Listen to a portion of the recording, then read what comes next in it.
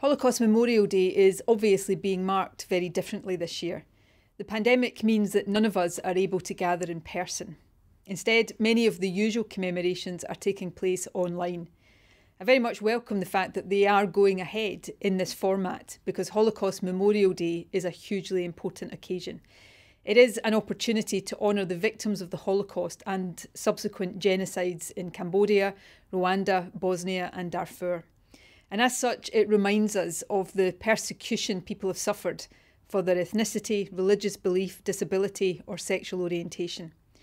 But today also has another purpose, and it is one which is summed up very well by this year's chosen theme. Be the light in the darkness highlights the responsibility we all have to promote truth and tolerance and reject prejudice and division. In recent times, we've been reminded of why that is so important.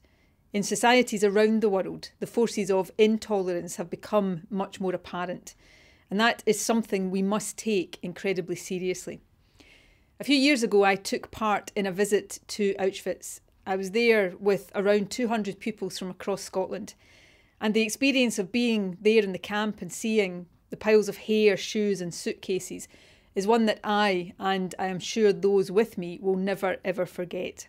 The Holocaust and the other atrocities that we mark and remember today must serve as a warning to all of us. They show what can happen when intolerance and prejudice is left unchallenged and when hate is given free rein. And they remind all of us of the need to tackle lies and prejudices wherever and whenever we come across them. Those are lessons which it is important to pass on to the next generation. The young people of today will, after all, shape the kind of society we have in the future.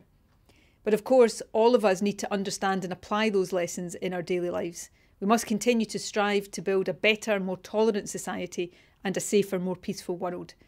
And through our words and our actions, we must continue to try to be the light wherever there is darkness. So, on this important day, let us remember the victims of the Holocaust let us also remember the victims of the genocides in Cambodia, Rwanda, Bosnia, and Darfur.